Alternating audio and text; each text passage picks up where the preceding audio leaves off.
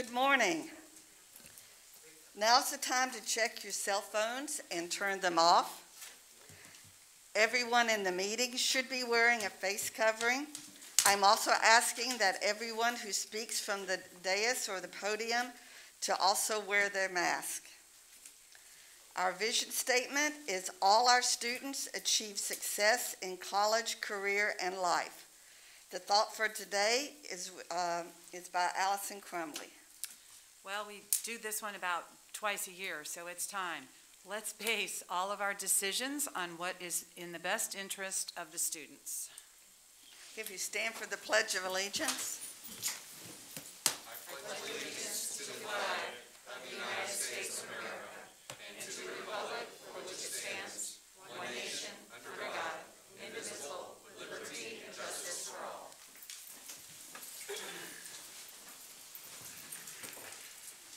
I now ask, um, I'll now announce that all the members are present except for Chairman Altman, who has an excused absence.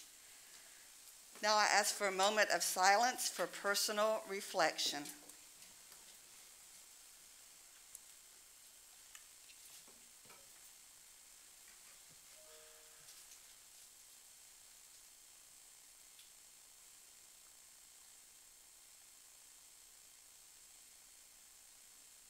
Thank you. All right, is there any, either one of you want to speak on the COVID-19 notice? Okay. No, ma'am. All right, we have the minutes of the workshop and the regular meeting of November 17th. I need a motion to approve. Move to approve. Second. All right, uh, motion by Beaudoin, second by Harding. All in favor? Aye. Motion carries. It's now time for a public hearing on the Student Progression Plan of 2020-21 uh, amendment. And I'll turn it over to Attorney uh, Alfonso. Thank you, Madam Chair. Ladies and gentlemen, this is to announce the public comment portion of the Student Progression Plan 2020-2021 Amendment. Notice of this public hearing was posted in the district website and in publications in compliance with Florida statutes. Any member of the public who wishes to be heard on uh, this particular matter uh, should have already completed a green speaker request form that you can find as you enter the board lobby area um, and submit it to staff. When called, please approach the podium, state your name and address for the record. Uh, Each speaker will have up to three minutes to speak unless an extension is granted by the board chair. I don't believe that we have received any green cards. Ladies and gentlemen, I'm going to announce that this is a public hearing, so if you are here to speak to this proposition, now would be the time to come forward. Madam Chair, let the record reflect that no one approaches the podium. All right, um, just a FYI, no vote will be taken uh, here today. There are no special presentations today, so we move directly into public comment on agenda items only. Madam Chair, I think the record can reflect that no requests for public comment on this uh, item uh, were received. Okay, then we'll move on uh, to United School Board Employees of Pasco. Hello, Good morning. welcome. Good morning, uh, Mr. Superintendent, Vice Chairman Armstrong, Attorney Alfonso, and honorable school board members. This is her with a mask. I isn't know, You know that- First of all, I hope you had a wonderful Thanksgiving holiday with your family and enjoyed a well-deserved break from work, which we all needed. I think we can all agree that this semester and most of 2020 has been unlike any year any of us have ever experienced previously. We're all looking forward to what we hope is a safer, healthier 2021. And I'm here today in Don Peace's place as he is home recovering from a recent medical procedure. He sends his regards. Now, returning to work this week, we at the union office recognize that salary conversations for our employees and negotiations need to begin, and hopefully we'll find a way to provide meaningful raises to all employees, uh, not just the employees that will benefit directly from the legislature's funding this year for newer teachers. While USEP will always appreciate additional funding, clearly I think we all will acknowledge that, for all employees in this district, we must strive to ensure as best we can that equity of some kind be the objective, as we are talking about long-service teachers in SRP who do not, that do not benefit to the same extent as the newer employees under this newest plan. These employees have dedicated their working careers to this district, and we believe it is incumbent on our part to do the best we can by them. We believe the district will agree with that approach, and we hope that together we can work on a, a, a resolution that makes sense for everyone. On one important other note, I think we can all breathe a little sigh of relief. I think we all saw the executive order that came out yesterday that announced uh, from the DOE that funding for innovative programs such as My School Online here in Pasco County uh, will be funded for the remainder of this current school year. It's a good development, I think we'll all acknowledge. As you know, the issue of continued funding for these programs was somewhat in doubt until this order, so we should now be able to move Pasco and other districts uh, to continue with these programs during this pandemic year. Let's hope we don't have to deal with this next school year. And otherwise, thank you very much. Thank you. Thank you, Jim. All right, it's time for committee reports. We'll start with Mrs. Harding. I had none, thank you. I had none either, thanks. I had none. Well, I had two. Um, uh, Investment Oversight Committee uh, met virtually. Uh, Mrs. Swinson uh, told the committee that the district uh, has received about 14 uh, million in grants for COVID-related expenses for this year, but there is a concern about the 21-22 budget. Our investment advisors reported that overall our investments are doing okay. Uh, We did discuss strategies to improve performance, uh, so might be do, do better in the future. The uh, Employee Health and Wellness Committee also met. We reviewed uh, the goals from last year and how effective they were. Pretty much decided to stay with the goals that we have today, and they'll just be tweaked a little bit. Uh, So that was also a good meeting. Now we move on to uh, Superintendent of Schools, Kurt Browning. Thank you, Madam Chairman, uh, members. Um, As uh, Mr. Ciadella had already mentioned, uh, that Commissioner Corcoran did release uh, his emergency order 07 yesterday. I just want the board to know and our public to know that it does allow for the continuation of our innovative uh, learning model, which is My School Online, uh, for the second semester. It also holds districts harmless financially, uh, and I would add with some caveats. Um, We are still working through the details of the order as it relates to the financial matters. Um, Additionally, we are required to submit the spring 2021 uh, education plan and assurances to the Department of Education no later than December 15th. Uh, Needless to say, uh, uh, staff uh, is working uh, feverishly uh, to uh, not just submit a report, but, uh, or a plan, but also submit a plan that uh, represents uh, how we're going to support uh, all of our students, and especially those struggling students. Uh, The plan will require specific steps uh, for progress monitoring. Uh, We know that, uh, but the department wants to ensure that uh, districts are monitoring uh, all of our students and providing additional supports for our struggling students throughout the district. Um, There, there's a, a great deal more in this order. Um, We are, as I said, tearing through it. We got it about one, one-ish yesterday. Um, Found out about the press conference at 11.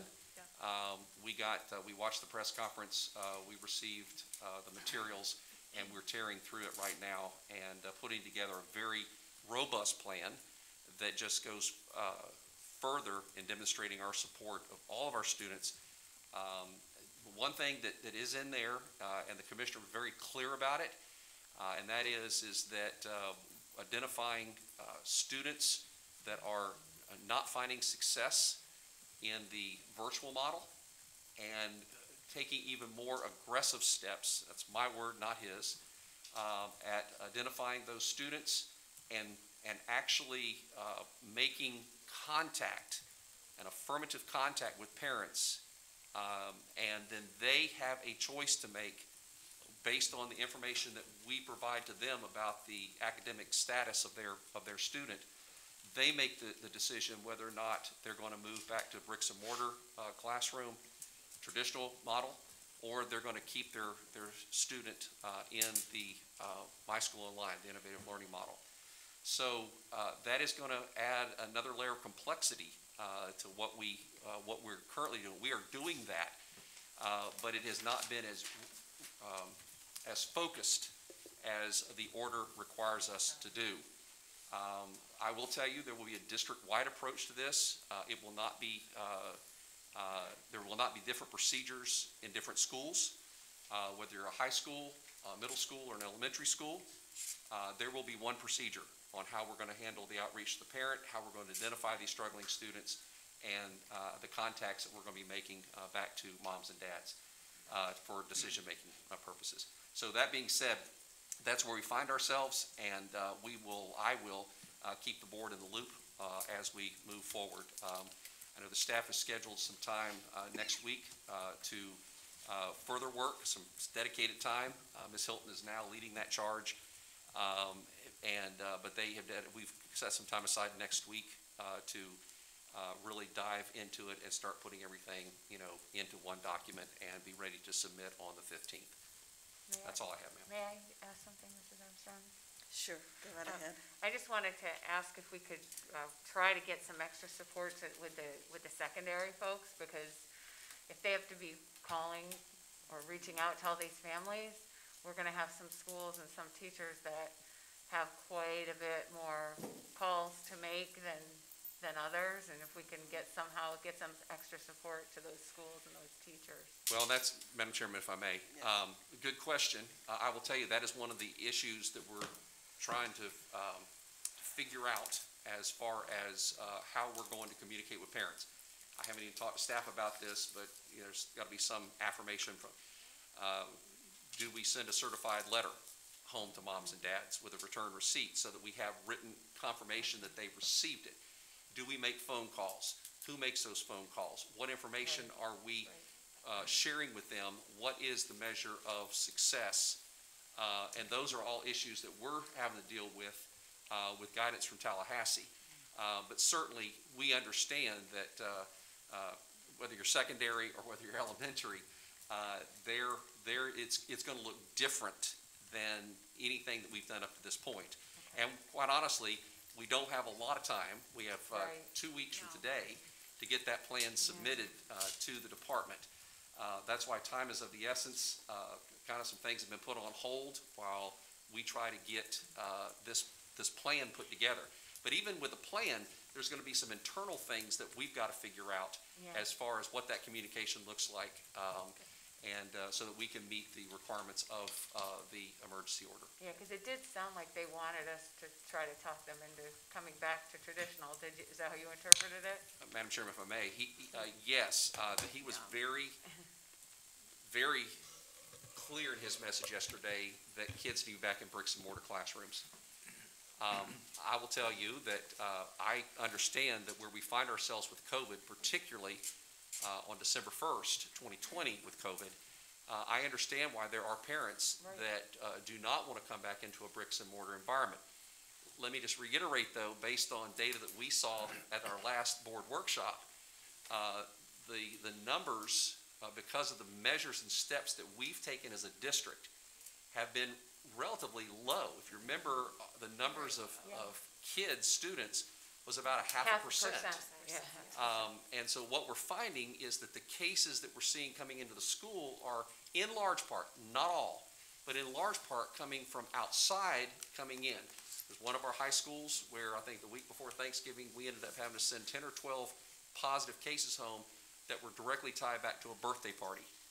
Uh, you go by parks and ball fields, uh, and you will see full parks and ball fields. And I might add, with no mask or very few masks. Um, so, uh, I've been in constant contact with, uh, Mr. Napier, uh, County Health Department Director, and, uh, he is, um, he's concerned about the direction, uh, that we're headed, not we as a district, but we as a community are headed, uh, with COVID cases. And so we as a district are trying to take whatever steps we can to ensure the safety of our students and staff. Um, and I don't know how I got onto the COVID discussion, but, um, we, we do know that, uh, the commissioner was pretty clear yesterday in his assessment uh, of uh, kids that uh, are struggling. They need to be back in a bricks and mortar environment.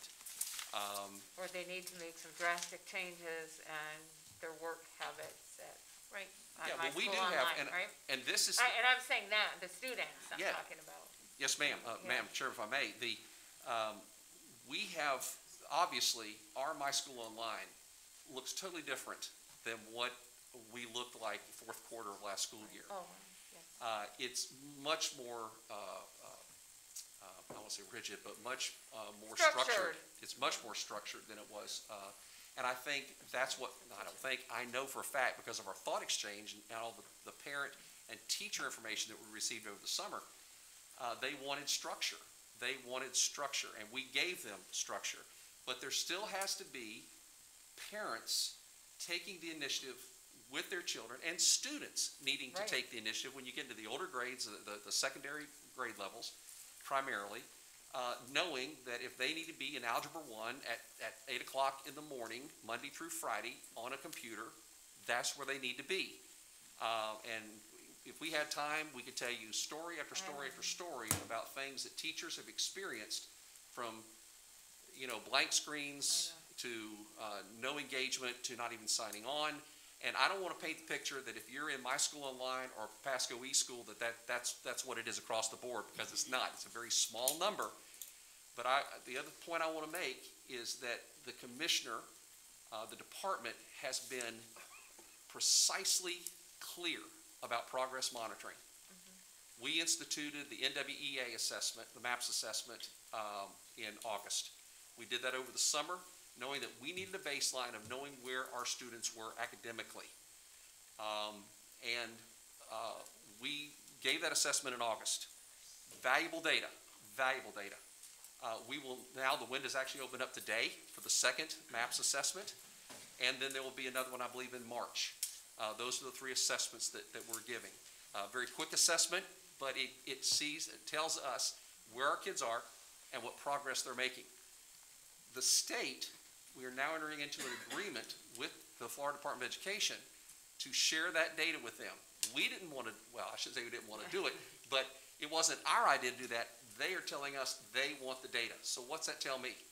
They are going to be looking, they're going to be watching what districts are doing as far as the supports we're providing our students and the progress that they're making in ELA and mathematics primarily. So, um, our schools, it's, in- it's incumbent, there's, there's no, there's no wiggle room in this. That NWEA assessment will be administered in all of our schools where it's, where it's uh, eligible, um, uh, in, in December and in March. Because, not because Tallahassee's watching us, it's because it's the right thing to do. We- It's valuable data. We need to know where our kids are.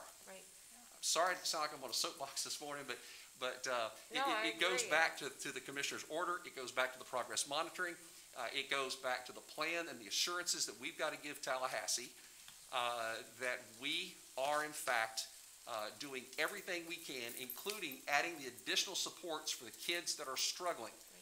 And the kids that are struggling and they choose to stay in the virtual environment, Right. we've got to ensure that there are additional supports, which, and I will just tell you, it doesn't come cheap. So, Ms. Swinson and I and others, we talk about uh, the funding piece and how we're going to be able to get the dollars that we're going to need to have in order to provide these supports that the department expects us to provide to these students.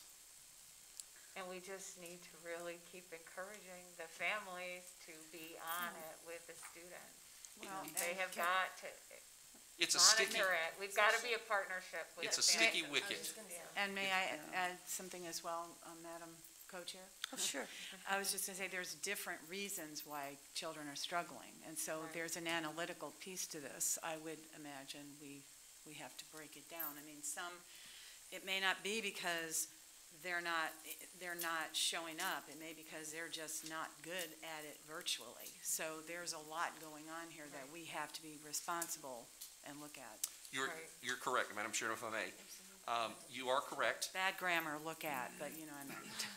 Uh, You are correct. There are varying reasons why students uh, are, are, are not as successful as other students in any environment. Uh, But in the eyes of the department, from, from the way I look at it, is that there are students in the traditional model, there are those in the innovative learning model, and then those in the virtual model, which is the My School Online. They don't make any differentiation about really Right. anything else. They do, they, they really focus though on uh, uh, uh, ESOL, uh, low-income students, uh, those kind of things. Students and- with disabilities, yeah, I read Yes, the, the, our SES numbers, and they really need to make, want to make sure that we're providing those supports for those kids. I'm grateful for the department having allowed us to continue Yeah, uh, the virtual uh, or innovative learning model uh, for the second semester. I am grateful for the department uh, holding districts harmless, even though it may be with some caveats. Uh, It could, I will tell you, I'm a glass half full kind of guy, it could have been a lot worse uh, than what we believe where we find ourselves today. I'm not telling you that it's a rosy picture because money is tight. Money is incredibly tight. Um, But uh, we have, uh, the expectation is that we will meet the, uh, the requirements of that plan, and that plan will be filed timely. And uh, then the hard part comes, and that's the execution of that plan. Yeah. thank you, All right. thank you.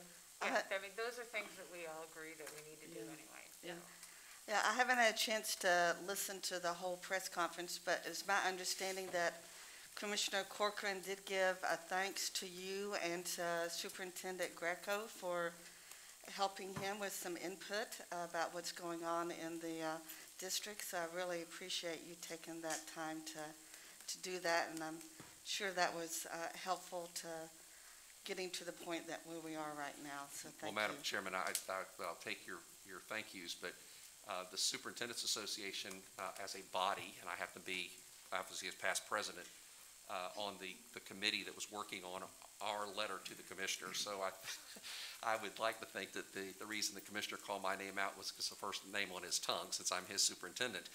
Um, But uh, yes, we've worked hard, and uh, they have been responsive to superintendents.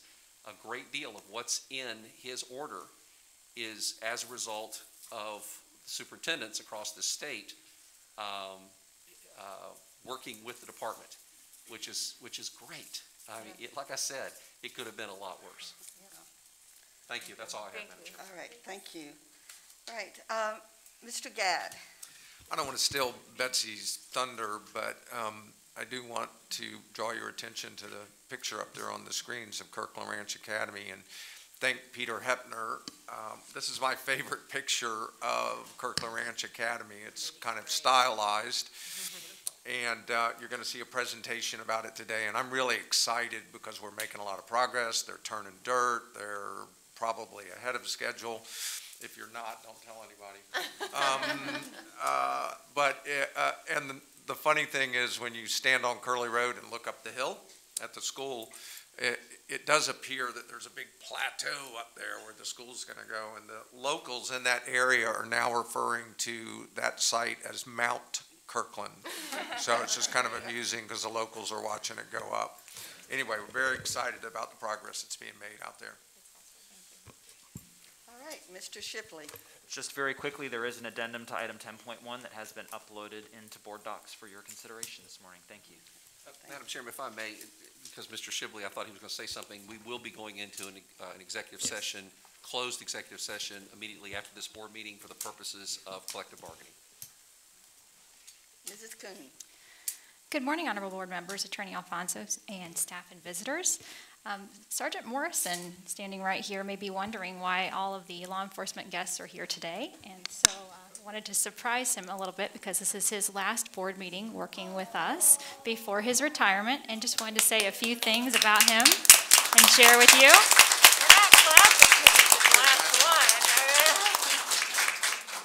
In January, Sergeant Morrison will be retiring from the sheriff's office after 25 years of distinguished service, most of it working with youth. He spent five years in patrol before moving into juvenile investigations, and then served as River Ridge High School's SRO for 14 years. In May of 16, then Corporal Morrison was promoted to sergeant and was assigned to patrol, and then a few months later, he decided to come home back to SRO, and has served in the role he's currently in as the leader of the District 1 SRO team since then. You probably are aware that Sergeant Morrison was part of the core team that created and implemented the active threat plan from the ground up. That was before uh, many other districts were doing it, and he was part of that core team that worked many, many hours to make sure that that was done and done in the way we wanted it to be done in Pasco County. He also helped to train all of the school board employees, law enforcement, public safety communications, and that model has been recognized across the state as one of the, the best practice models. We've worked with him here at school board meetings. He's helped us with community feeding, traffic solutions, rezonings, threat assessment, the list goes on. He's a trusted advisor, patient problem solver, and friend to the school district, and we wish him the very best in retirement. So I wanted to thank him for his service.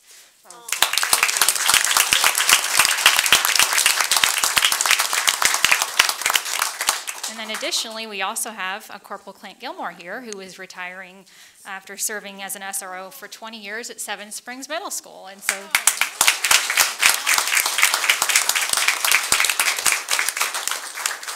I asked Mrs. Gant from Seven Springs if she had anything she wanted to share, and she sent me the following. She said, Corporal Gilmore has served the New Port Richey community as a school resource officer at Seven Springs Middle since 2001. His dedication to student and staff safety, positive attitude, and smile have been appreciated by our community. He has worked alongside administrators and teachers for 20 years to ensure that our students have felt safe and protected and had positive experiences with law enforcement.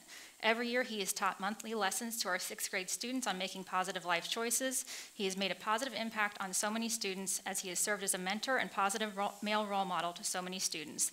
Thank you for your dedication to Seven Springs and Pasco County Schools, and you'll always be a Jaguar. Madam, Madam Co-Chair, may I add something? Madam Co-Chair? Yes. I just want to, oh. I'm getting a little choked here, sorry. Cor- Corporal Morrison was the SRO for all three of my kids at River Ridge. And I just have nothing but kind words for um, everything he did there.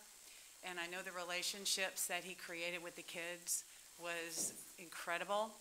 And I know you kept a lot of kids out of trouble because of your relationships you had. And I cannot thank you enough for, um, oh, stop this, all you've done for our kids. And, um, so- was it Sergeant Gilmore? No, I'm, this, Corporal Gilmore. Corporal Gilmore, okay, I'm sorry. I don't know you as well, but thank you, I'm sure that you have done the same. Thank you both very much, and I'm happy but sad. Yeah. Congratulations. Yeah. So Yeah, you're supporting them today. We have be missed. Captain Davis, Lieutenant Ferguson, and then you also have all the sergeants, including um, Sergeant Oakley, who will be replacing Sergeant Morrison upon his retirement, Sergeant Maggio, and Sergeant Yes. Justice as well. Stand up, we don't get to. And Mike Baumeister.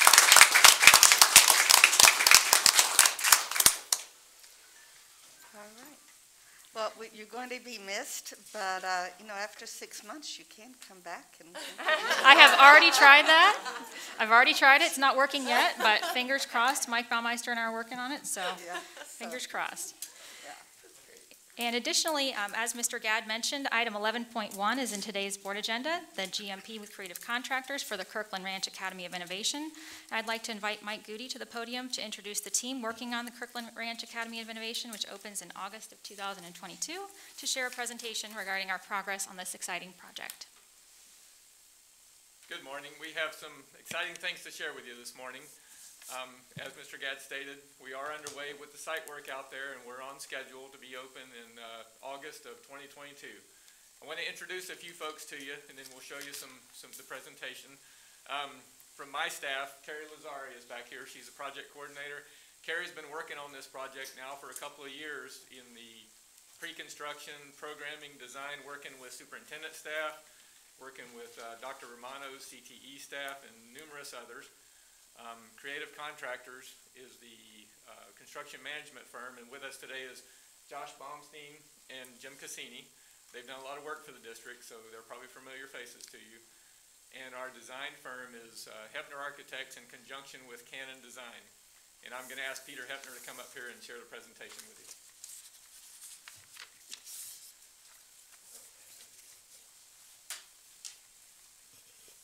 Good morning, Good morning. Madam Chair, board members, superintendent. If you can't tell with this mask, I do have a big smile on my face. This is a milestone. This has been um, such a valuable experience for the entire uh, design team and all the folks that um, Mike just mentioned. But before I, I show you the photographs uh, and, and the slides, I I really want the board members to know, and I think you do know this, and you've seen a lot of great projects during your tenure in this district, but the, um, just the horsepower and, and the support that we've had from this district has been overwhelming from the beginning. The leadership of the superintendent and um, Mr. Gadd and everybody really in this room. Uh, It's, it's so valuable to us as, as designers because it really lets us exercise our talents to the greatest degree. And it's the input and all the workshop and the decisions and the, you know, I don't want to mention people because I'm going to leave so many out, but um, Dr. Moore's leadership when she came in and joined the district has been, uh, it really lets us do what we, what we do well. And, and this is an example of that, and I appreciate the opportunity to represent so many people that have done a wonderful job. Um, I, I think Mr. Gadd already talked about um, the image there, so I'm going to get into it and, and give you a brief overview. Um, I think for those that aren't familiar with the location of the property, we're about three miles due east of I-75, right on the uh, eastern edge of Wesley Chapel. Uh, We're about three miles north of Watergrass Elementary School. Um, This is uh, about a 104-acre piece of property, which is the northwest edge of Kirkland Ranch. For those of you, it's right on Curley Road that, that have not seen it. It's a gorgeous piece of property. It actually has over 40 feet of elevation in it. And for an architect working in Florida, for once, we, you know, most of our properties are, are flat. So we really took advantage of that. And I think that, um, uh, working with, uh, with the district, we really felt that we wanted to maintain the beautiful natural, um, characteristics of this piece of property. You can see the blue areas, a beautiful existing pond with oak trees, and uh, we, we're hoping maybe we can still keep a couple of the cows out there, right, Mr. Gadd? But, uh, But our civil engineer went to great extents with our landscape architect to expand that pond with our retention, instead of just having your normal retention ponds. This is going to be a beautiful feature. Um, The building that you see in white up there sits on the crest of the hill. Um, And uh, it's specifically been designed as a courtyard school with security foremost uh, in our minds as we design this school. And you can see there, there's a very nice boulevard that's going to be built on the south edge of that property that aligns with the uh, residential development across the street. And then all the separate areas are very well-defined. There will be ample room for stacking and all types of pickup and drop-off, so there'll be no issues with that at this school. And then you can see to the east, a large portion of the property has been maintained for a future uh, K through 8 school. This is what the front entry will look like when these students arrive at this school, when the community embraces this school. We've specifically designed this very large portico, if you will, that will not only be an entry to a school, but an opportunity for large community events. On the right-hand side is the admin, and then the left is uh, Innovation Center. Here's as you walk in towards underneath that portico, you can see it's been designed to allow a little bit of natural daylight coming in, but the courtyard beyond is very secured, and the first place that folks will enter to the right will be the administrative suite. This is a diagram of the first floor of that building. As I said, it it's designed with a courtyard. The idea is to give these students and future students an opportunity for exposure of all these different exciting programs so that they can find an interest, see what other students are doing. Most of the CTE programs are all on the first floor, along with the, um, we're really, it's a media center, but we're calling this a collaboration hub, an innovation center. It's a lot different than a typical media center. Um, And the first area is the administrative suite, as- I've said, and you can get a feel for what it might look like inside. It's very um, modern design with a lot of nice materials that reflect uh, how the building is put together. The opposite side is this uh, collaboration hub, which will be a double volume space, really designed for an opportunity for business, uh, the community to come in, uh, share ideas. It's, uh, it'll function as a media center, but it's also intended to house a lot of other functions and provide great settings for entrepreneurship and, um, and other academic endeavors. This is the second floor. Looking down, there's these spaces that are designed called huddle spaces for small meetings and collaboration. And then this is another view from the, from the top. Uh, moving into, I want to give you a taste of a few of these CTE labs. Up in the upper left-hand corner, these are your digital media, engineering robotics, uh, biomedical, and patient care. And there was a lot of thought put into the adjacencies of these spaces, so how each one can hopefully support each other. The thought is, is that here's your digital media, very flexible, open spaces. And as you can see, the, um, each space will be designed with these murals that are very well thought out, that reflect the curriculum and what's happening inside the spaces. And we've made a, a large effort to have some view windows going back and forth from uh, the different labs so that students can um, always see what other, what's going on in other areas. Here's the robotics lab, specifically uh, adjacent to the biomed, with the thought that hopefully in the future, these bright students that are working on robotics can hopefully design robots that'll have something to do with biomedical education. And here you get a feel for the engineering lab. Um, very flexible spaces that are designed to change over time. Um, this is a student dining area that's designed. This is really one of the largest spaces in the school where the students can come together.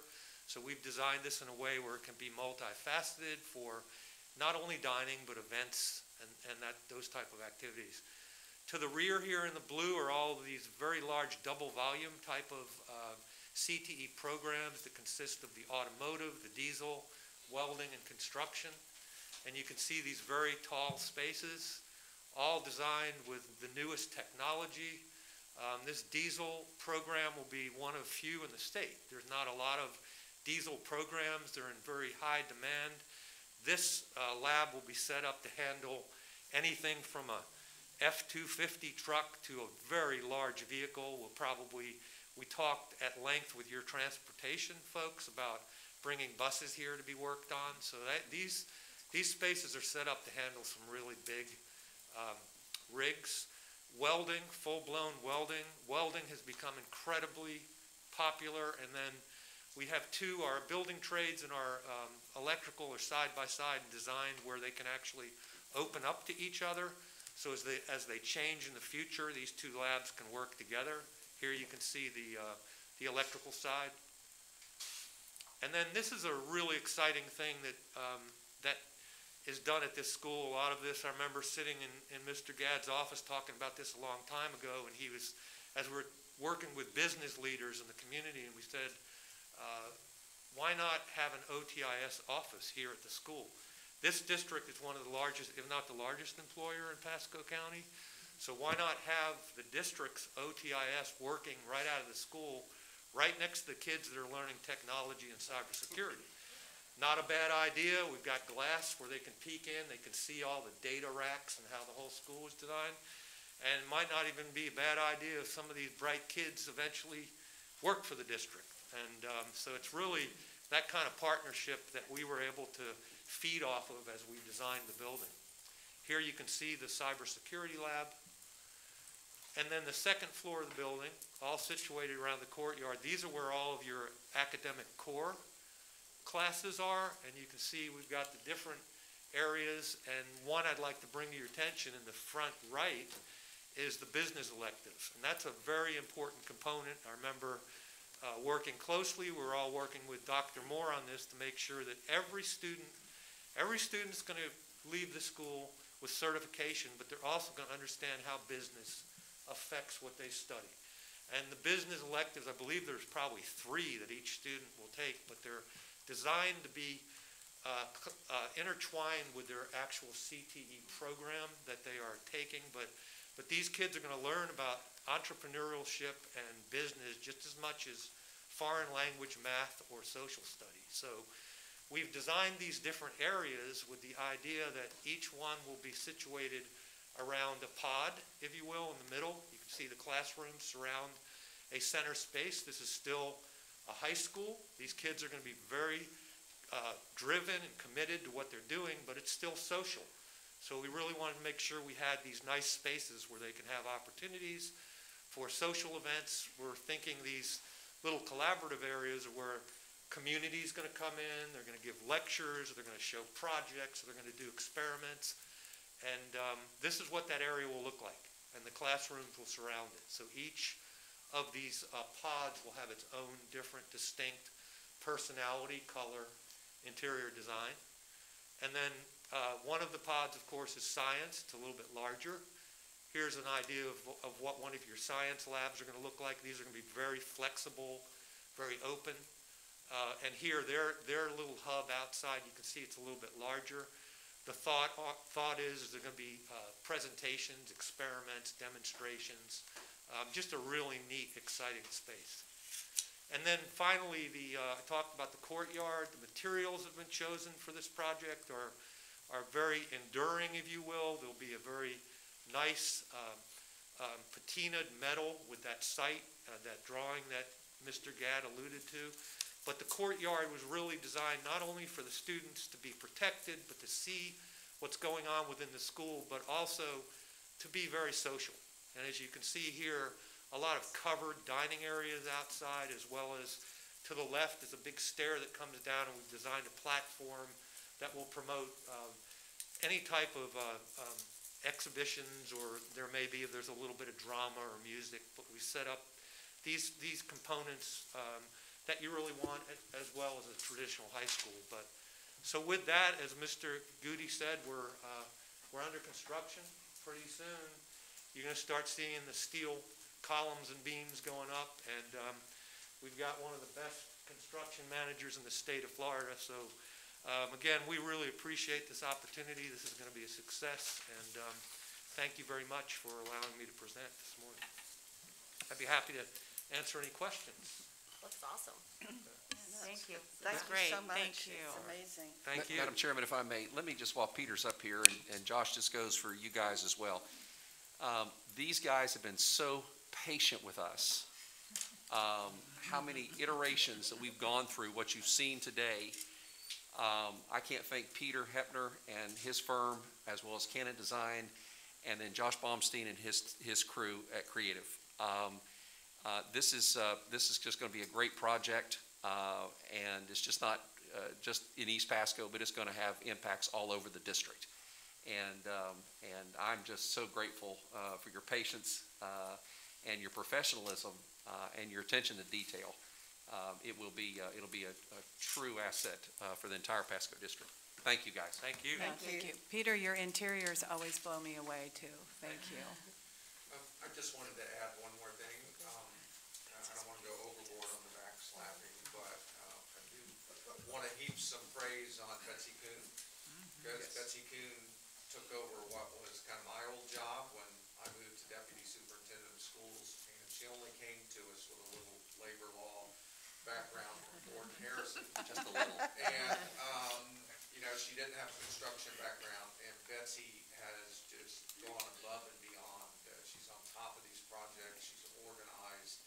Um, She's learning a lot of new stuff about water retention and curb lines and construction concepts, but um, Betsy's just doing a great job, and um, getting to this point is a testament to her ability to be task-oriented and keep things moving. So I really appreciate Betsy's work on this school and other schools to come.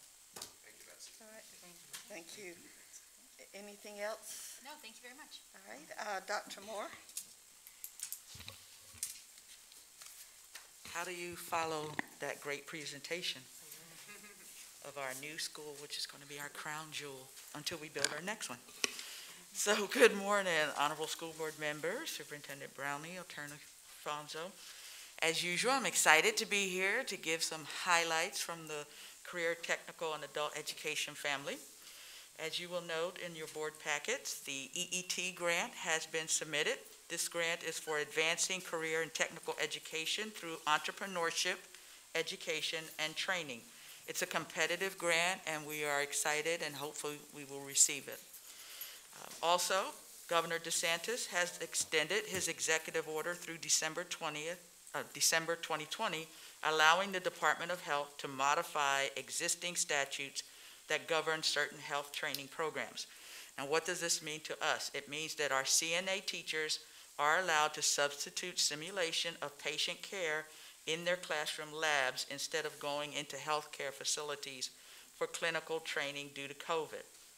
Several of our programs are using an improved clinical simulation module instead of clinical training in a healthcare facility to fulfill their clinical training requirements. While some schools were able to get into a partnership with clinical facilities for trainings, others were not and are now using the simulation instead. Also want to let you know that our CTE button is live on our PD Hub page, so we're very excited for that. And that gives us the opportunity to provide training to all of our wonderful CTE teachers throughout the district. We do have six CNA programs that are licensed and have been approved and renewed by the Board of Nursing. The new program licenses run through December 2022. So that's important because all of our programs are now licensed. We're also finalizing our new clinical affiliation agreement between Advent Health and Zephyrhills and Wiregrass Ranch High School CNA programs.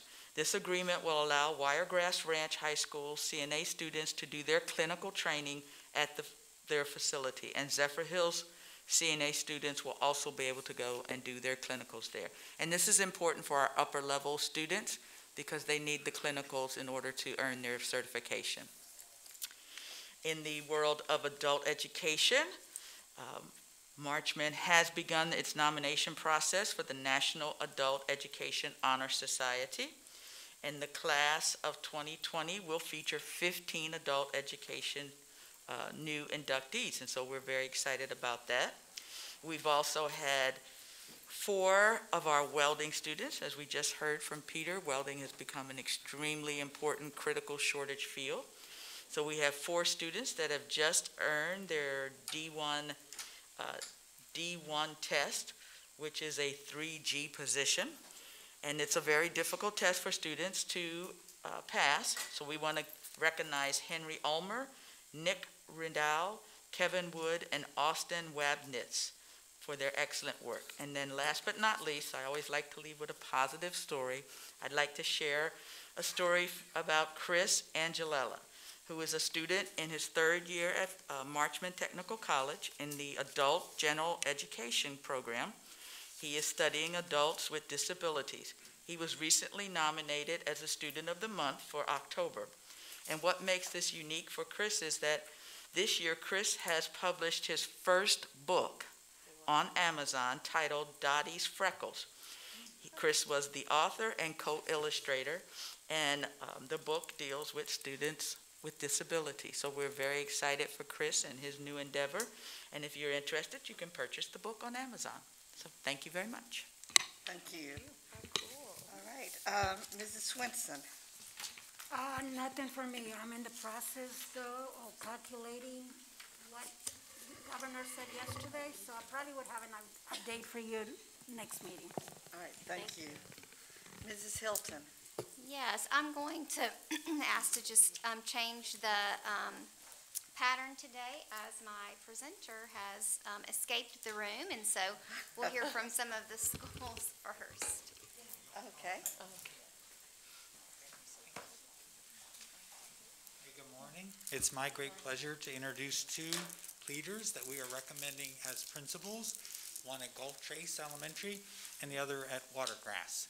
We certainly um, are sad to let Mr. Mitchell, Scott Mitchell, retire, but we wish him all the best as he has decided to do that. But let me start with Kara Abatello. Kara is um, the recommended principal for Gulf Trace Elementary School. I knew Kara even when she was a teacher at Trinity Oaks, no, yep, Trinity Oaks. Um, and at the time, I recognized in her um, a very strong instructional uh, leader. She is very willing to explore, try new things. Uh, she would do anything to help a child be successful. And so Kara um, has been an AP at Mary Giella Elementary.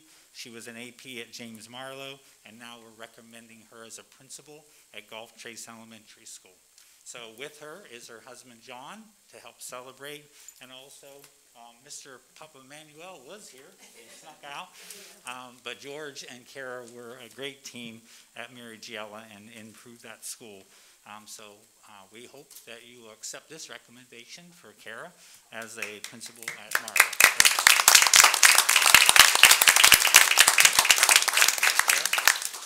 So I also get to introduce um, Andrea Altman, and Andrea is being recommended as the principal at Watergrass Elementary to replace Mr. Mitchell. Um, Andrea has been an assistant principal. Her, her current um, position is at Quail Hollow with Kara Schmucker, but she also was a an assistant principal at Raymond um, Stewart Middle School for, for multiple years. Before that, she worked at Veterans Elementary School as a learning design coach, a literacy coach, and of course as a teacher. Um, if you know Andrea, you know that she is a learner at heart. If Andrea doesn't know something, she is going to work extremely hard to, to fill that gap and, and, and become an expert at, at whatever it is she needs to do. She is very innovative in her approach. She is a change agent um, as a leader, and we're super excited to recommend her as the Watergrass Elementary principal. With her is her daughter Rachel, who goes to Sanders, um, her husband Eric, and Eric's mother Margie here to celebrate Andrea. So we um, recommend her as the principal at Watergrass Elementary.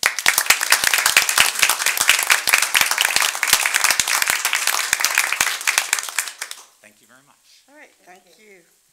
All right, Mrs. Hilton, do you want it to go back to you, or do you want me to continue on? That'll be great. Thank you so much. So much. Good morning. Um, as you know, we've engaged with Gallup um, to administer both staff and student engagement surveys in our district for many years. And we use this data to monitor goals in our district success plan and related to our key priorities, specifically our priority of collaborative culture.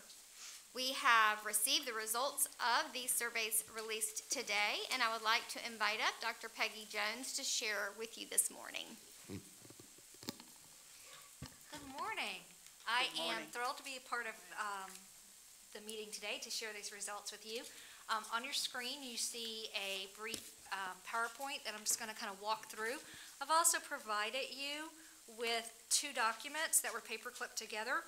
One is an overview of Gallup, and so it talks a little bit about um, background, some changes that have occurred, number of questions, um, number of responses.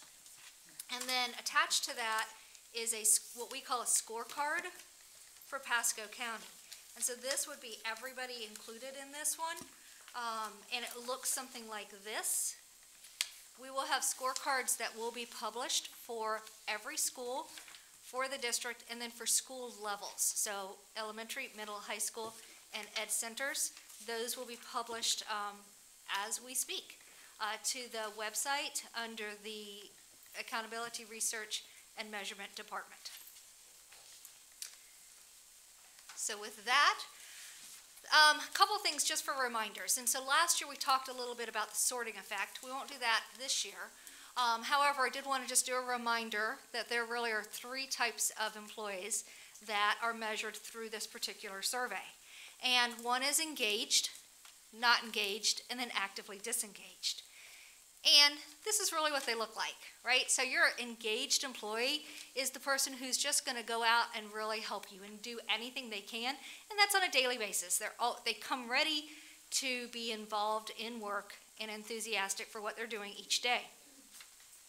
Your, on the other end, your actively disengaged employees, probably not the happiest employees to be there. Um, they're really um, more on that negative mindset. In the center are these not engaged employees. These are the folks who really are, they're kind of there, it's a job. They could move toward actively disengaged, they could also get pulled into engaged. So with Gallup, they've really had about 25 million responses. And so when they're looking at their data, they, they have a nice research base to fall back on. The key piece that they, that we work on with them is that this is about engagement. And engagement versus satisfaction, what does that mean? Engagement is about that involvement, that enthusiasm for what, for being at work, for what you do each day. Satisfaction is really a contentment. It's okay, I'm here. I'm not unhappy, not really happy, but everything's fine. And so what we're really looking at is engagement. These are our historical records. And so if you look at the very first blue circle, what you'll notice is on the first line is the year. Second line is the grand mean. And the third line is the percentile rank. And so, um, as with most organizations, the lowest um, score is really that first year. And that was true for us as well. So 2014 is when we first gave our survey to everyone. So we kind of started out with a, with a few people in 2013. We went to all of our staff in 2014. And this is a key piece too, that what you're looking at is the employee engagement piece. Um, so from, so after 2014, you saw that our percentile rank jumped up quite a bit. And uh, 2015, 16 kind of looked similar in that 30 range, jumped into the 50s. Um, and then we took a dip last year. But then if you'll notice, we've actually peaked back up this year. So we're at the 47th percentile with our score this year. We've also seen a uh, tick, an uptick on the grand mean, which went up about six hundredths of a point. Dr. Jones, can I ask a quick question? Of course. When was this given to our employees? It was given in October, so the first two weeks of October. Okay, so This year. during the COVID Yes. craziness. Okay, Mhm. that's, that's good to see. Mhm. that jumped up. And a, a key point to that too, if I may, Ms. Harding, is um, we give it at the same time each year. Okay. Yeah. And so when you want to compare results, you're Uh-huh. able to do that because it's at the same time. Right. We also overlap the student survey in that same period of time. The student Okay. survey runs a little longer, but it's in that same period of time as well. Okay. So this is really our engagement index across time. And so what you'll notice is that it's showing the percentage of, of um, employees who are actively engaged. That's that blue. The orange is our disengaged employees, the percentage. And then our actively disengaged are in gray. The most current year is at the top. And then if you'll notice down toward the bottom, that's that 2014 year. If you look at 2014, that's when we had our largest actively disengaged. From there, we've really hovered in that 13, 14% since uh, 2015, really. Um, this year is our highest percentage of, active, of actively engaged employees at 47%. At the very bottom, you'll notice that the Gallup K-12 database is reported. And so one nice thing is, um, at this point, Gallup has really um, in, it, uh, partnered with lots of K-12 districts, and so now they're able to actually give us a comparison to those K, those other K-12s as a whole. And so it gives us much more meaningful information, because K-12 does look a little different than other organizations. I was- Can I ask something? Oh, of course. sorry. I remember when we started this, that there weren't so many. Correct. And so now we have, do you know how many other districts roughly, or? I don't know that. I can ask, um, but I do not know that. But it's enough for them to uh, be able to get report as a database. They get a meaningful number? Mhm. Okay, thank you. Yes. Um, the far right-hand side, where it says engagement ratio, that ratio is how many engaged employees that you would run into before running into an actively disengaged employee. And so obviously you want that first number to be the highest. If you look at the K-12 database, it's a 4.1 to 1. Um, we're at a 3.62 to 1, which is our highest since we've been giving the survey. This is just nice for us to just be, have as a reminder. These are all of the questions that are asked in the K-12. So we, we give the K-12, and then we also add some custom questions that are unique to Pasco County. So as you see, the way these are written are these are written, but they're also classified in a hierarchy. And that hierarchy gives a little bit more meaning to what the questions mean. So if you're really looking at one particular one, so for example, school districts, including Pasco, um, may see that I have materials and equipment that I need to do my work right. That's not always the highest number. Um, and so, but that's really in a basic needs area. And so what does that mean? One of the things that we know is that we can't just go off the number and look at the number. It really becomes, I need to actually talk to folks. So the next step after you get your data is have some conversations with groups of people, um, and ki- including kids. Um, so sometimes what that might mean is, I need a computer and I want each of my students to have a computer, and until that happens, I can't mark that as high. So we don't know that's true unless we talk to people. However, those first two questions are really getting at basic needs in order to be able to be engaged in your work. The next set of questions are around the individual. So what's in it for me and what am I getting? And as you go up the hierarchy, then you move into that teamwork. And so then it becomes who are the people who are around me, who I am working with in my work site, within my district. And then finally, growth. And that's really about what do I see for my own personal growth? What do I see about my future in this organization? And is there room for me to, to move up?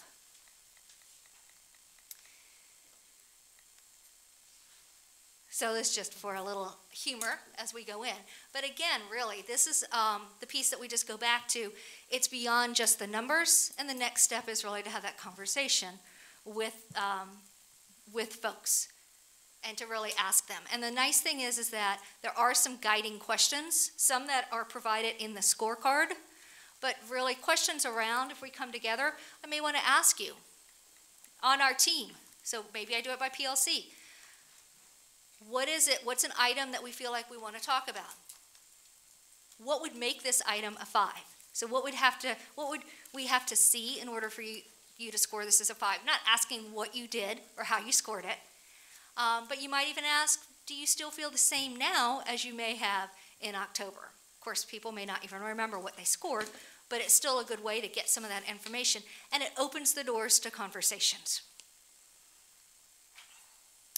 This I throw in because this is good context. So as you look at this, what you're going to notice is this is really kind of four groups and engagement results for those groups. Pasco is in here. I will tell you that these data are old. They are from 2013. Um, so just take maybe about 15 seconds, kind of look, think about where you think Pasco is, and I will unveil these in just a minute. The key piece that I do want you to think about is the blue are our engaged employees. And when you look at these four bars, none of them are at 100%. None of them are even really in that higher level. So sometimes the questions I get are shouldn't you have a 100% of your employees engaged? I don't think 47 looks great. And so the, the question around that is when we're measuring this, we're really measuring folks that are in those different groups. And every organization is going to have those groups. So it wouldn't be reasonable for us to see that 100%. So these, this is the unveiling. And if you'll notice that first bar is the U.S. working population in general. So all folks, regardless, we just kind of went out and randomly sampled and, and gave the survey to them. Second column is Pasco County in 2013. The next one is Gallup clients who are in their first year which is why I used 2013 data, because that was really technically a first year for Pasco. And then the following, the last column is 2013 Gallup clients who have actually been with Gallup for a while. So you would expect that to be higher. So in this one, I just want to kind of, again, remind folks, why do we do this? Why does Pasco County put money, time, and effort into this process? Why do we care about this? And so, uh, one of the things that we know is that in business, when we look at engaged employees, we notice that, and Gallup notices, this is research based, that productivity increases, customer service increases, um, things that decrease, absenteeism, attrition, theft. So these are all important to us as well. So this is businesses in general. But as we said, they now have a nice database for K 12. And so when you look at that database, there are some things that are unique to K 12. One is that on the item that talks about at work, my opinions seem to count, teachers, K 12 teachers nationwide, are going to be the least likely of any organization in the Gallup database to mark that high. And so that could be for whatever reasons, right? It could be that the federal government is telling people what to do, the state, the district, the school administration. Whatever it might be, that feeling of maybe being less empowered is going to make you feel like your opinions don't count as much. Um, additionally, 46% of K-12 teachers report high daily stress, and 69% are not engaged in their jobs. This is pre-COVID, um, and so we may see even more um, significant numbers this year if they were to do this again. Also, 62% of teachers who are engaged are less likely to leave the district.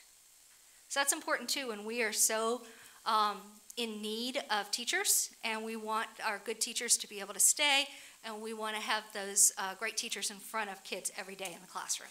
And so these are reasons why this is so important to us and why we care about this information. So for fall, what does it look like? These are how our data look. Um, overall, you saw we had an uptick. If you look at this, you'll notice we had about 6,300 um, employees take the Gallup poll, and that's similar to years past. Last year was about 6,800, um, so we're within that um, ballpark for numbers. Uh, so still a fair amount of folks who did take it. Um, as Ms. Harding um, noted before, right in the middle of us coming back to a school year that looked a lot different than years past. Nothing that's really dramatically different than what we've seen in years past. Um, the recognition, which is question four, um, I've received recognition in the past seven days, did go up. It was a 3.4 last year to a 3.61 this year. Um,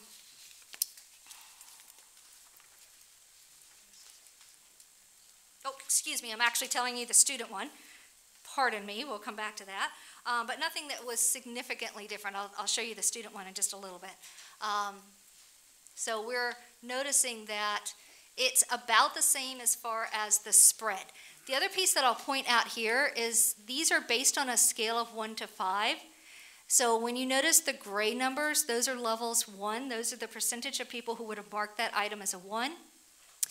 And the dark green are the percentage of people who would have marked that item as a five. Um, as a point of reference, the way Gallup would define this is a, a, a, marking it as a one, a two, or a three is a no. So a three is really a soft no. So the only yeses are fours and fives. These are our additional items. So these are the ones that Pasco gives um, that are um, unique to Pasco, so it's a good piece. Um, and these are ones that we really want to be able to get more information around um, things that are important to the district, including the, um, the executive leadership, which was an uptick this year as well.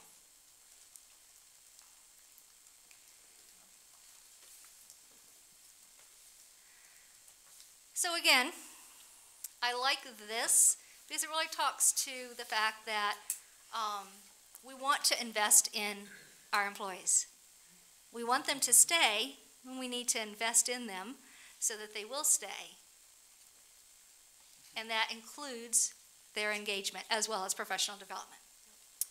So with that, I want to actually turn the focus to the student poll. And I want to start here by talking about the student poll has had another change. So when we first started giving the student poll, um, it had the domains of student engagement, student hope, and well-being. Then they moved that and they uh, provided domains for student engagement, student hope, entrepreneurial aspiration, and then career and financial literacy. This year, they have changed and we have student engagement, student hope, belonging, and social emotional learning. We're super excited about these two new domains because they're really at the heart of work that we are doing. And of course, we're glad student engagement and student hope have been there all along. Um, there are some slight changes to the questions in student engagement, student hope. So for example, um, one question that used to be there was there's a mentor, um, that, that there's an adult mentor for each student. That's no longer asked. So you'll see slight changes like that. So engagement is the involvement in and enthusiasm for school.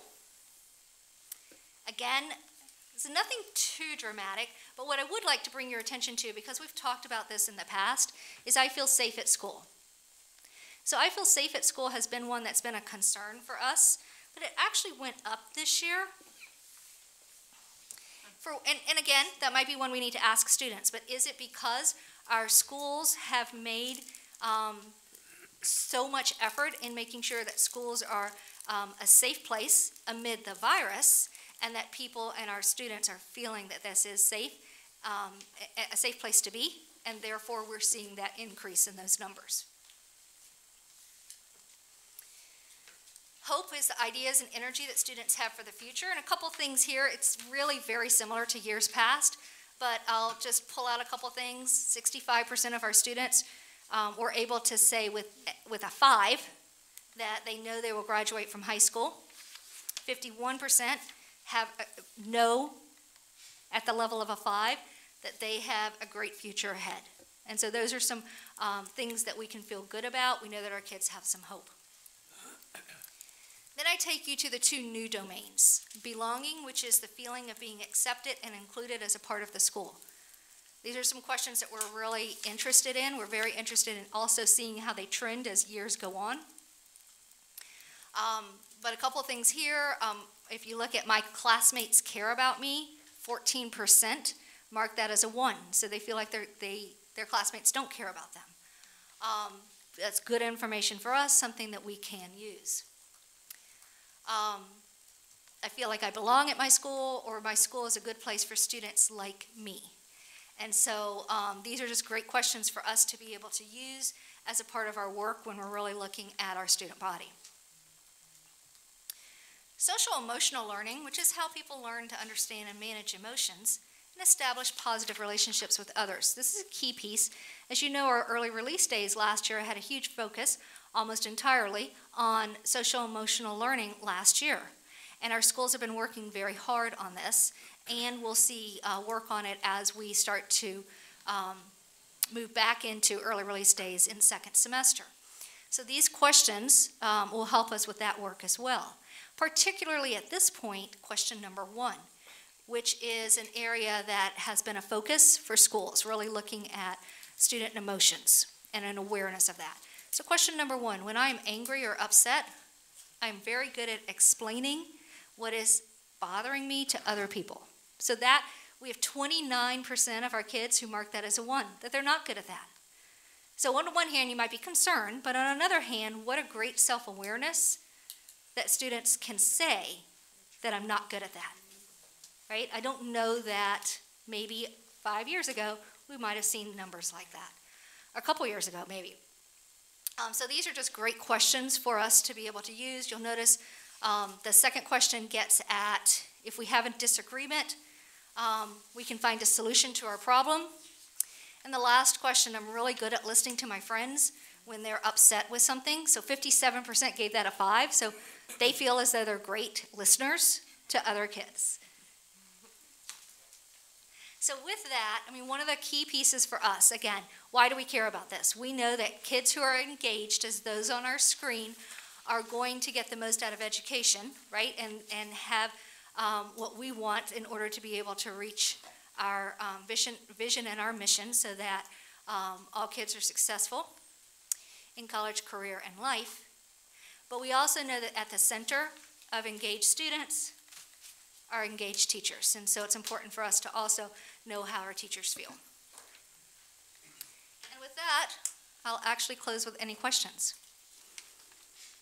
Any questions at this time? I don't have a question, but I just have to say, you do such a great job of putting this together and explaining it.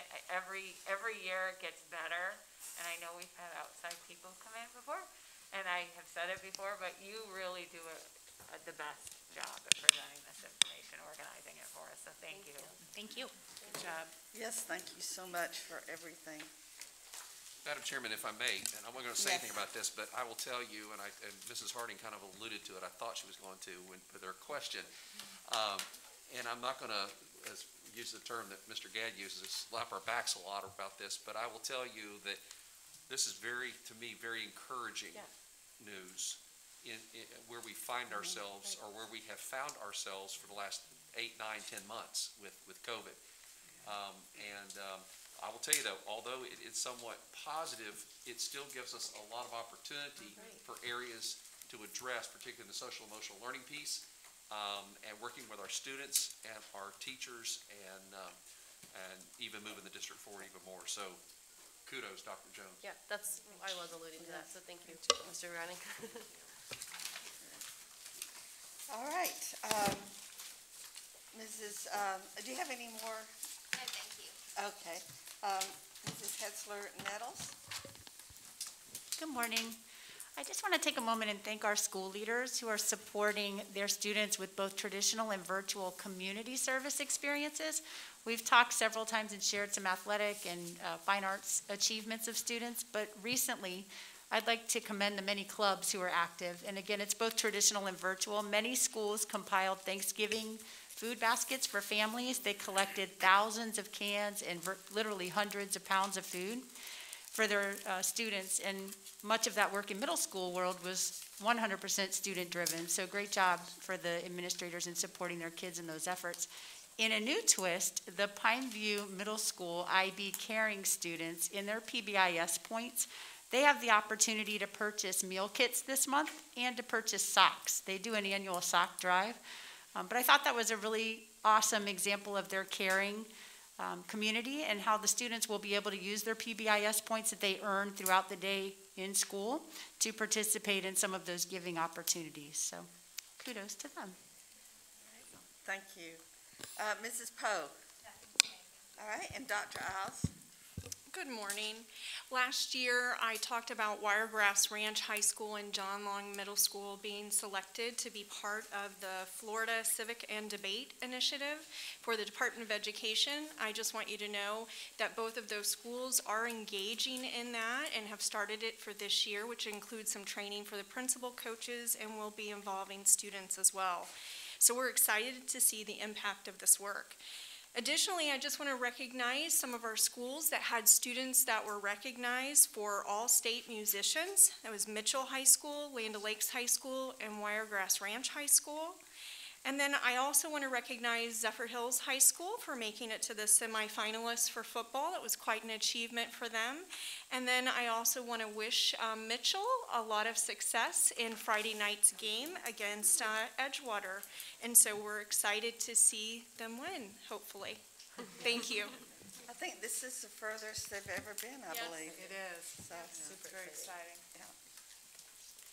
All right, there are no expulsion recommendations or hearings. Good news. Uh, That brings us to the consent agenda. Is there anything that uh, any board member wishes to pull? Okay, uh, seeing none, I'd entertain a motion Um, to, I would move to approve and the, adding the um, items uploaded by Mr. Shibley to 10.1. all right. Second. All right, uh, motion by Crumbley, second by Beaudoin. All in favor? Aye. Aye, motion carries. All right, that brings us um, to action items. Let me get to that. All right, and that brings us to the rezoning recommendation for 2021, 2022, uh, final approval. Uh, This is regarding uh, Starkey Ranch, along with some uh, other small adjustments. Um, Entertain a motion. I'm so moved. Second. All right, uh, moved by Crumbley to approve, second by Beaudoin. Any discussion? All in favor? Aye. Motion carries. All right, um, I know, I was thinking the same thing. Yes. Well, it's nice when There's you're a lot of opening a new school and excitement people want to go there. All right, so now it brings us to individual um, board member reports. Uh, Mrs. Harding? Yeah. So I just wanted to say, I hope everyone had a great, safe, and restful, uh, restful break. I hope you took some time to unwind and relax, and I know that we're gonna finish this quarter out strong. I also wanted to thank Mr. Browning for changing, um, his mind about spectators, um, with sports and also the arts. Um, we all, we all know how important this is to our students. um, in our community. I do want to clarify, Mr. Browning, that this does include the arts, right? And um, the arts are allowed to have live audiences within utilizing the guidelines. And this inco- includes utilizing their auditoriums with masks, correct? Yes. Okay. Um, and I also wanted to bring up to you, Mr. Browning, that, um, I'm, I think I brought this up at the workshop before, or even last board meeting, but I'm still seeing that there are different guidelines being followed at different schools. Um, and it's being brought up to me by students as well as teachers, um, and community members, so I just wanted to, um, make sure you're aware of that, so that way we can kind of make sure that all schools are following the guidelines that we have in place. Yes, ma'am. Um, but other than that, every, that's it. All right, Mrs. Crumbley.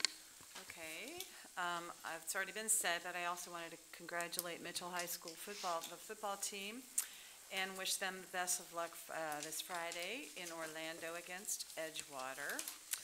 And I think you read my notes, but I was going to say the same Oh. thing, thanking the superintendent, I'm just teasing you, for, um, changing the restrictions on the spectators. And, uh, I was actually gonna ask for clarification, but he's already done it on the art, so thank you. And I wanted to see, um, if maybe after the first of the year, because it would take a lot of work, I'm sure, but we get such great information all the time from Dr. Moore on all the CTE goings on. And I thought maybe at some point in time after the first of the year, we could have a workshop on putting all the pieces together. And I know that would take a lot of time, so I want to give plenty of time for that. But Madam- there's just so much excitement going on and how it ties in with the new school and all the other schools and And what's it's been, a going on it's at been a Krinn- at while. Wendell Well, that's Krinn, what I mean, yeah. Wendell Madam Chairman, we- Krinn and Marchman. It's been a while, so, We can do that. Uh, Probably, uh, we will try to get it in in January, if not first of February. And I'll speak on Dr. Moore's behalf. no, no rush, because I know y'all are so, so busy. Yeah, because And we I want to give plenty of time. And if we could do it the first of February, that might dovetail with some other plans we're looking Uh, at yes, it may. west side of the county. Yes, ma'am. Okay, perfect. Oh, okay. I don't, then that may be different than I- what I was gonna say, because I like it when you do it during the meeting too, because then other people get to hear Yeah. it. But if it's something else too, then maybe we wanna keep it at the workshop. Well, Madam Chairman, if I may, what we've, we've kind of seen a kind of a change in the way that we've kind of handled the meetings. Uh, we believe that, um, we need to have like, uh, what I call smaller snippets of like highlights of things that we're doing. I believe that the, the workshop would probably be more in line with what Mrs. Crumbley's asking for, and I think what other board members are asking for, because it is so complex, so big. And I think that there's gonna be a lot more Questions. information Okay. and you just need more time than, than, uh, than I think, and it's your be- board meeting, if you want to hear the board I- meeting, we'll do it. Well, I like, now agree. that I know that we're gonna add to it. I But we agree. will, I took away. we will have it, we will do it in the first meeting of February if that's Okay. acceptable.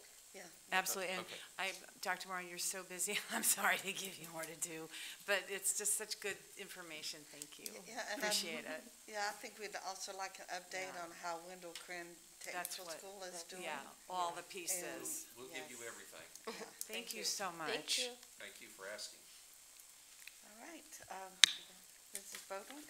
Okay, so going along with uh, what you brought up about social emotional learning, I wanted to thank the Pasco County Council PTA and uh, district staff, Vicky Papa Manuel, Amanda Medina, Linda Hughes, and Amanda Hughes, for offering a mental health workshop for families.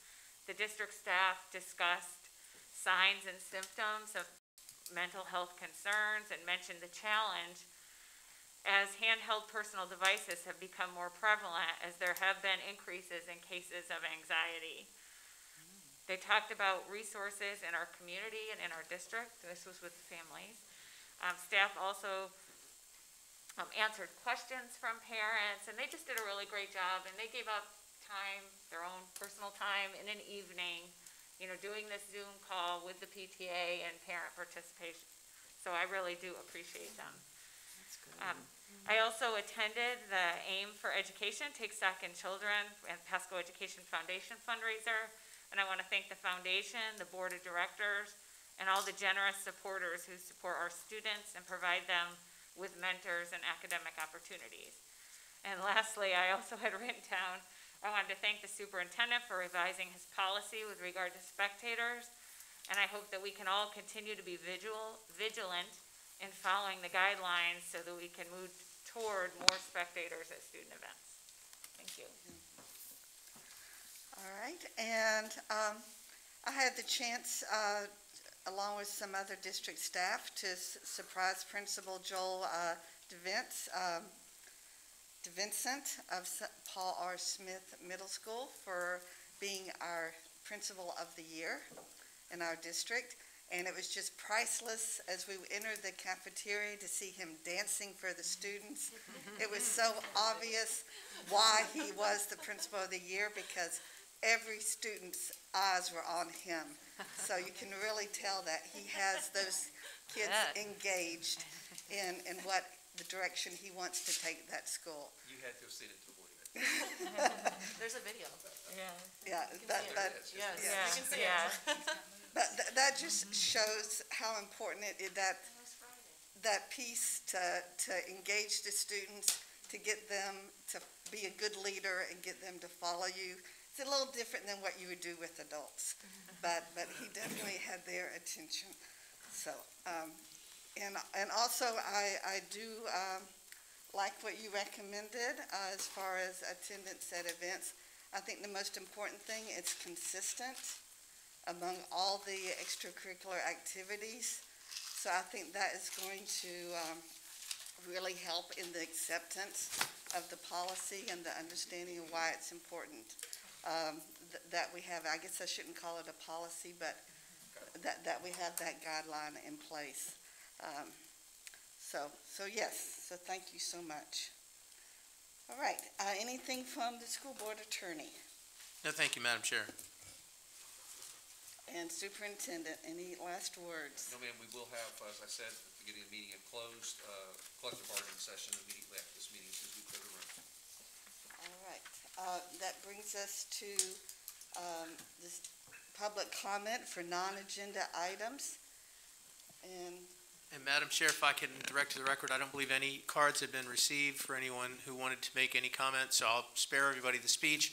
But I will note for the record that uh, there were two Let's Talk comments that were received, and the record should reflect that, actually, it was the same author of both comments, but they have been uh, sent to board members, and they'll be made part of the record. All right, the next board meeting will be held on December fifteenth, uh, twenty twenty, at six P M in the boardroom. So now I need a motion to adjourn. Meeting adjourned. No Thank you. workshop that day?